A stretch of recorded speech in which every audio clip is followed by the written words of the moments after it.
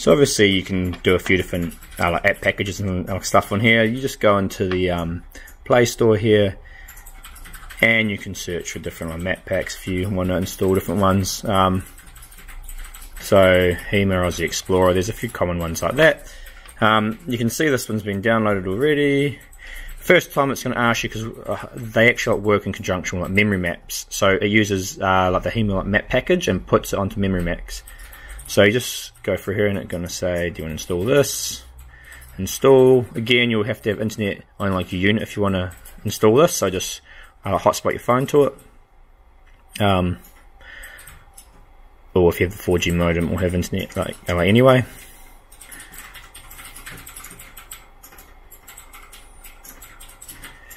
So you just got to basically give it all these like permissions. So allow, allow, allow. Now it should. So that's mm, there you go. So it's actually I know you've got the uh, Mac package here anyway, and it's just downloading it because like the license is like linked in the device. So that uh, icon that we first downloaded from the Play Store, that Mac uh, package costs you ninety nine dollars. Um, I believe that's a year of updates, and then after that, when they update it, you have to uh, pay again. Um, so this is going to down down load now, like save on device, so you can so you can obviously get it offline uh, when you're out of range and stuff. I think it's about 1.2 gig or so, so it just takes a few minutes to do that. So once that's done, obviously going to be um, left with your like your HEMA maps here, um, fairly standard, all the usual things you have in it. Searching.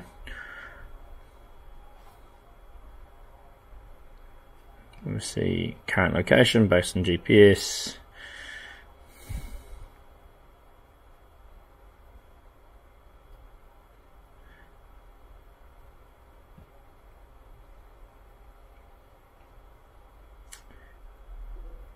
So you got your overlays, route track, and this is where you can uh, like I think from your cloud. If you got tracks, you've got saved.